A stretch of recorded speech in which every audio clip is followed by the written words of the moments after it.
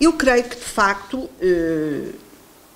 é perguntado o que, é, o que é que pensamos sobre esta questão da atualização. De facto, quando pensamos em rendimentos periódicos, é óbvio que eles têm que ter alguma atualização e, normalmente, o referencial é, é, é a inflação, não é?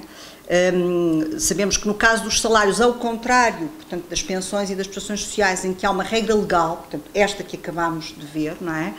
Uh, no caso dos salários, não há propriamente uma regra legal no nosso, no nosso país que diga que tem que ser mesmo a inflação em termos exatos.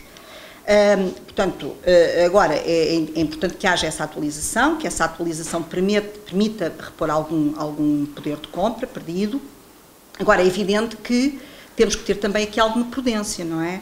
Tem-se uh, falado dos riscos de estarmos a, a, ter aqui, digamos, um aquecimento excessivo do lado da procura, do lado do consumo privado, do lado da procura interna e, portanto, é, é importante também ter aí alguma contenção, porque isso pode depois uh, ajudar à tal espiral inflacionista de que por vezes se fala.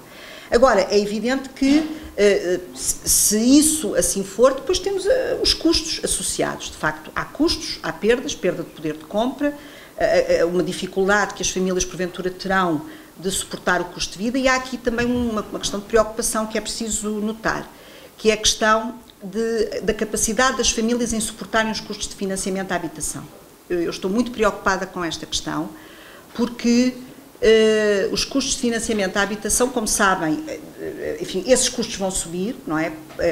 As taxas de juros estão a subir, a taxa Euribor está a subir e, portanto, vai haver um esforço adicional. As famílias estão muito endividadas, há famílias que têm, um, um, digamos, uma taxa de esforço financeiro significativa e, portanto, se uh, houver ali uh, uma, uma, perda de poder de compra e, portanto, depois com esse custo também de financiamento a suportar acrescido, isso pode ter, trazer problemas não apenas para as próprias famílias, desde logo, evidentemente, mas para todo o setor imobiliário, pode, pode trazer problemas para o setor bancário e, portanto, em última análise, é toda a economia que pode ser afetada por essa, por essa, por essa situação.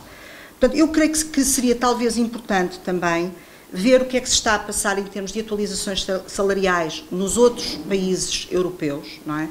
Acho que, era, acho que isso seria uh, importante fazer, esse, esse acompanhamento, uh, não apenas por razões de competitividade da nossa economia, mas também para percebermos como é que a repartição uh, dos, dos enfim, como é que está a ser feita a distribuição da riqueza, ao fim e ao cabo, pelos vários fatores de produção.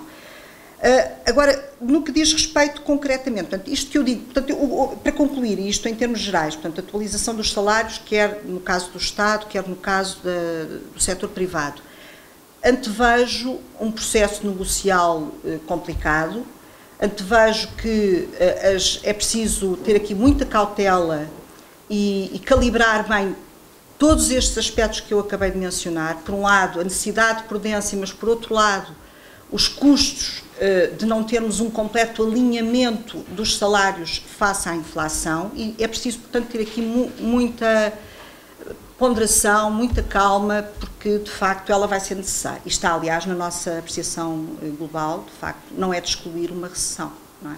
Uh, repare, o, o, cenário que temos é um cenário neste momento prudente, face àquilo que é a informação de que também dispomos, as coisas são como são, os modelos tem estas, às vezes estas uh, limitações, mas temos que trabalhar com a informação, não podemos, não podemos uh, estar a, querer, enfim, alterar o que está na base do modelo, não é?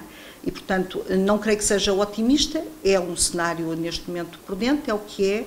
Agora, a, a, a realidade é muito dinâmica, não é? E, de facto, temos, a situação pode, de facto, deteriorar-se, não, não, não esconde, não escondemos em momento algum neste, neste neste exercício.